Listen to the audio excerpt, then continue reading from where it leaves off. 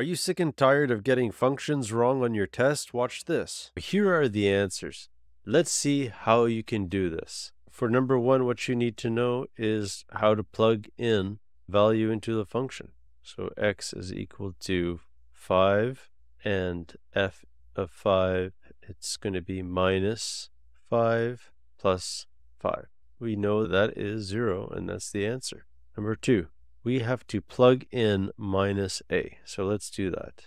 So we're going to get plug in x equals minus a.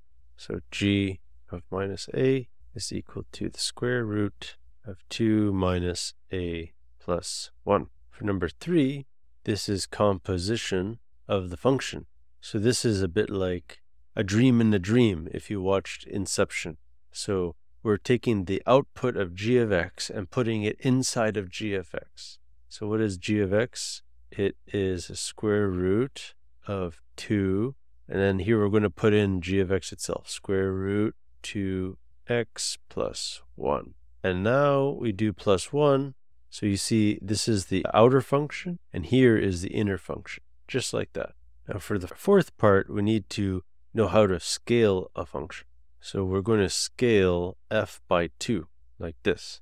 So 2 f of 2 f of 3 is going to be minus 2x minus 2 times 3 plus 5, all minus 3, which is equal to 6, minus 6 plus 5, which is minus 1, minus 3, which is minus 4. Follow for more math tips and leave your question in the comments and I'll make a video.